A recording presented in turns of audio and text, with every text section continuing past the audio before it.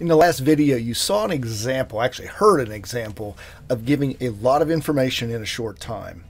I put a link below this video. If you have didn't see that one, go back and watch it. It'll help you understand the next few tips. The number one reason this is not a good way to dispense information is that it's too much and people don't know what to do. One of the tenets of good speaking is to know what you want your audience to think, feel, or do when you're done speaking.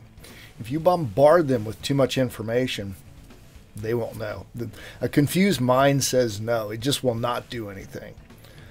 The first reason not to bombard people with information is that they won't know what to do. In the next tip, you'll hear about a key delivery idea that's violated when you hit people with too much information. See you then.